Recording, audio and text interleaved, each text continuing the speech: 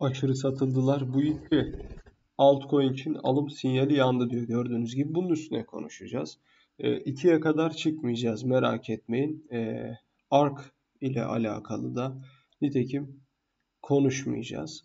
XRP'den bahsedeceğiz ve piyasa geneli XRP'deki e, genel durumdan aynı şekilde bahsetmeye çalışacağız. Videoyu beğenmeyi unutmayın lütfen. Genelde unutuluyor. Birkaç saniyenizi ayırıp e, videoyu beğenirseniz çok sevinirim. Unutmayalım, ihmal etmeyelim. Videoyu beğenelim.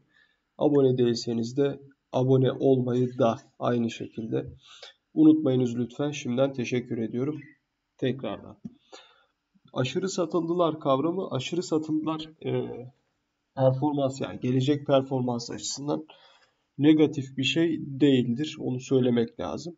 Short squeeze muhabbetine benzer yani short sıkışması gereği fiyatlarda dönüş olduğunda fiyatın yukarı hali daha sert patlaması e, kavramına benzer.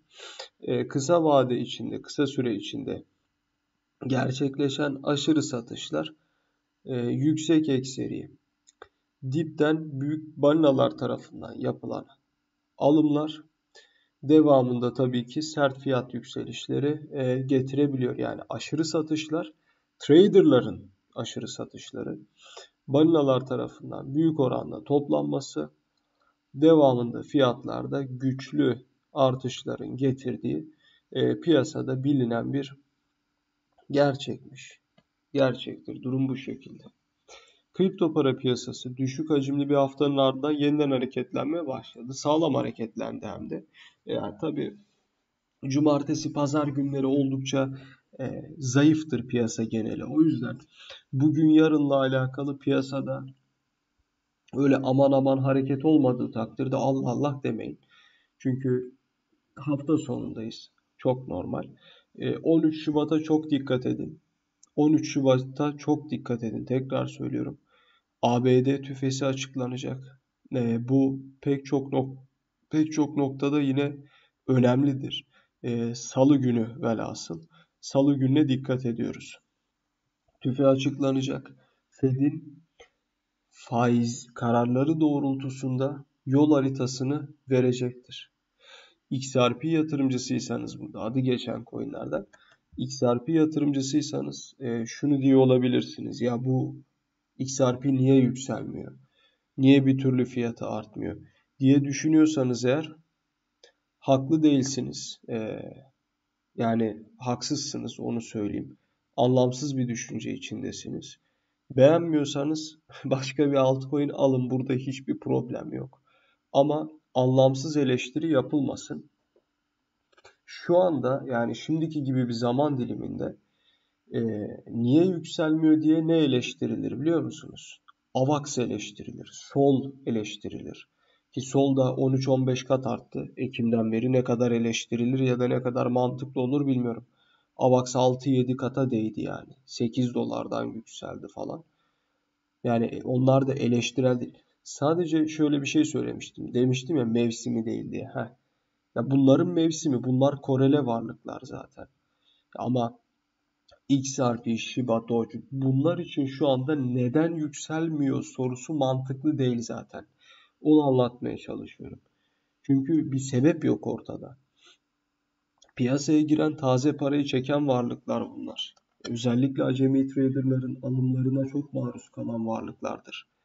XRP çok yaşlı bir kripto para birimi olsa bile ki bu güzel bir durum. Aslında uzun vadede çokça. O yüzden beğenmiyorsanız tabii ki başka bir varlık alabilirsiniz. Almayabilirsiniz ama şu anda XRP neden yükselmiyor demek mantıklı değil. Onu söylemeye çalışıyorum. Ee, zaten yani kışın karpuz yeme yani bir zahmet ya da niye karpuz yok diye sorma. Çoğu dijital varlık bir konsolidasyon aralığında işlem görüyor. Bununla birlikte bazı kripto paralar son haftalarda yaşanan büyük kayıplar nedeniyle aşırı satım durumu kaydediyor. Kripto analisti Barbosa'ya göre bu durum söz konusu projeler projelerin talebi artıracak. Doğrultuda analitik altcoin için bir alım fırsatından bahsediyor. Yükseliş hamlesinin bir tetikleme yapması mümkün. XRP'nin hatırlarsınız diye düşünüyorum değerlendirmiştik. Birisi 3 ay içinde fiyatının 5 dolar olacağını iddia etmişti. Hatta adanında 6 dolar. Ee, herhalde bunu söyleyen artık iki ay falan kaldı herhalde. Bir ay oldu mu galiba ocağın başında mı söyledi? Tam da hatırlamıyorum. Bu XRP'ye e, yakıştırılacak bir şey aslında. Çünkü XRP bak tekrar söylüyorum öyle bir coin'dir ki bir anda fiyatı çok düşüktür. Bir fırlar ne olduğunda hiçbir şey anlamazsın. Hiçbir şey. Yani sol AVAX gibi de değildir. Bir koyar öyle ne oldu falan der yani herkes. Allah Allah falan ne oluyor tarzında. Öyle bir e, kripto para birimidir. Geçmişte de defalarca yaptı zaten. Ama bu iki ay o iki ay değil. Yani yine mevsimi değil onu söyleyeyim. Çünkü gelecek iki ayda neler var? Tabii piyasa içerisinde 2-3 ayda diyeyim hadi. E, biraz daha uzatalım. Ether ETF onayı var ki bu XRP'nin de geleceği argümanlı doğuracağı için üzerinde çok ciddi etkili olur bakmayın. Halving var. Bitcoin halvingi. Önemlidir. Fed'in faiz indirimi. Nitekim ondan sonrakinin de fiyatlanması e, katalizörü olacaktır. Bunlar önemlidir. Bunların altını çizmek lazım. Ama yine de bu arada Ripple'la Sage'in de duruşmaları var. Ama yine de XRP için e, bir dönüm noktası olacağını sanmıyorum. Ne zaman dönüm noktası olur XRP'ye? Faizler indirilmeye başlanınca yani 1 Mayıs'la birlikte bence XRP e, ciddi ekseri toparlar. Alım sinyali veren ilk altcoin Ripple'ın XRP'si. 8 Şubat'taki RSI haritası aşırı satılmış bir XRP gösteriyor. Piyasa değerine göre 6. en büyük kripto para birimi 24 saat içinde %2,5 artış kaydetti. Böylece yazı sırasında 51,5 sentten işlem görüyordu.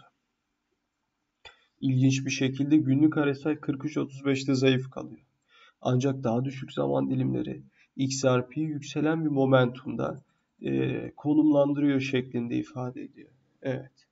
XRP zaten şu anda genel olarak fiyatı e, XRP, Shiba, Doge falan bunların e, Sol'dur, Avax'tır falan bu tarz altcoin'lere göre tabi şeyi fiyatları çok çok daha düşük şu anda. Çok daha uygun.